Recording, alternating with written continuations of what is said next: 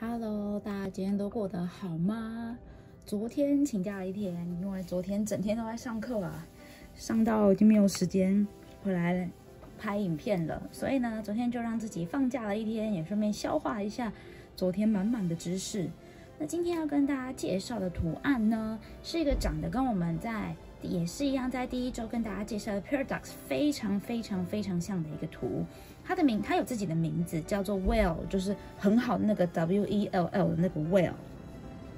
它的画的概念跟它，它是我我觉得我在画这个图，我的感觉比较像是它是简易版的 Paradox，它就是把一些大的呃细部的地方省略掉的感觉，但是画出来很漂亮，也蛮像中世纪欧洲的那种瓷砖吗？还是他们就是我画完给我的感觉是这样？嗯，不知道大家会不会有同样的感觉？好，那因为今天的图呢是一个小品图，所以我就用我的可爱的笔记本。我现在发觉这个也蛮好用的，像上次跟大家分享的 movement 也在这边，那这个也是之后会跟大家分享的图哦。那我们就来开始今天的图，叫做 Will，很好。那首先我们会先用我们的针笔画出四边形。这个图如果大家是用纸砖画的话，它就是你的正方形的纸砖。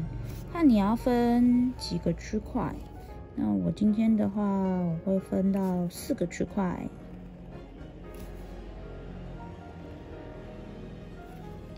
接着呢，请在你的图案的正中间，每一个图每一个方块的正中间画圈圈。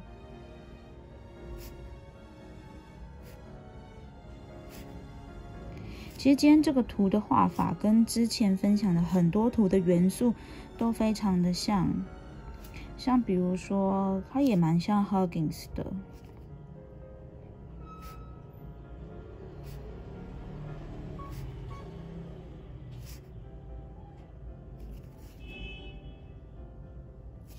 好，我这边画完之后，接下来呢就很简单，我又要开始来装我的本子了。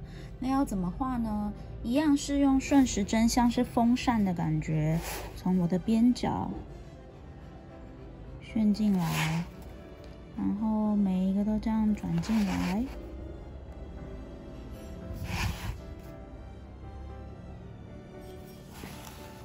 像这样，这就是我的第一个。接下来的每一个就是都这样做，所以我就要开始转本子了。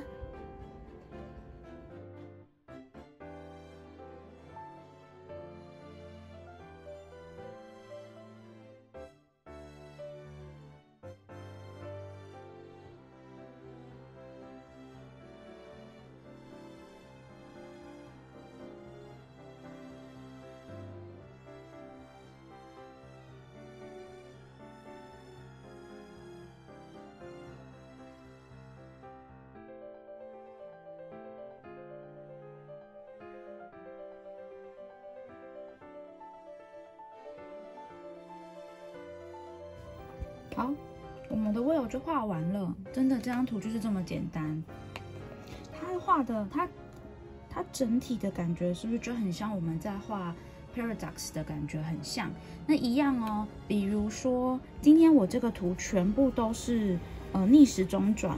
如果我今天这里是顺，这边是逆的话呢，它就会变成像那个呃被就是 paradox 里面那个银杏的叶子一样，就会像这样。这边再新增一行，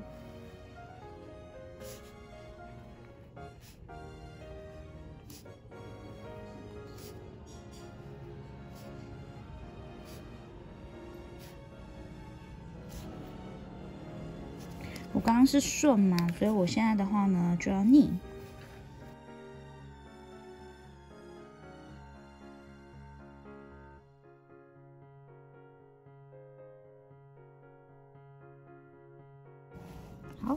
大家有看出来吗？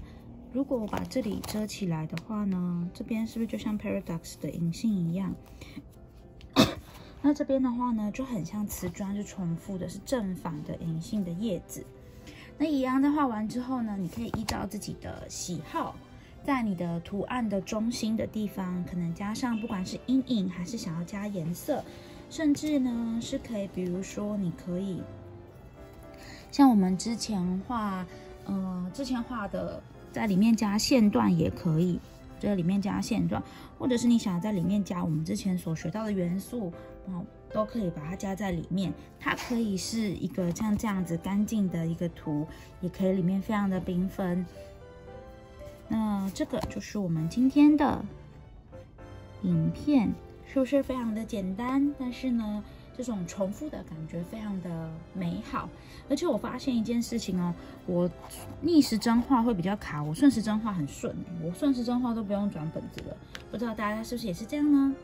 那这就是我们第十周的第四天的影片，那我们就明天见喽，大家拜拜。